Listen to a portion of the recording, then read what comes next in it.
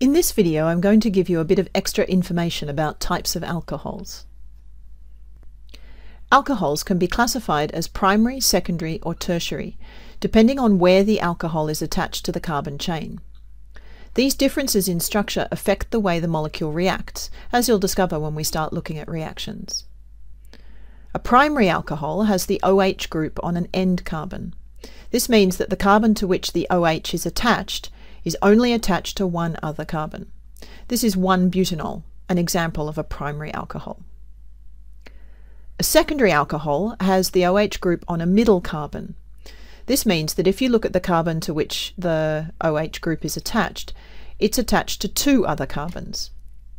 This is 3-pentanol, or pentan-3-ol, and that's an example of a secondary alcohol. Finally, a tertiary alcohol has the OH group on a middle carbon that has another substituent attached to it. This means the carbon to which the OH is attached is attached to three other carbons. This one is called 2-methylbutan-2-ol. Note that we don't specify in the name whether the alcohol is primary, secondary or tertiary.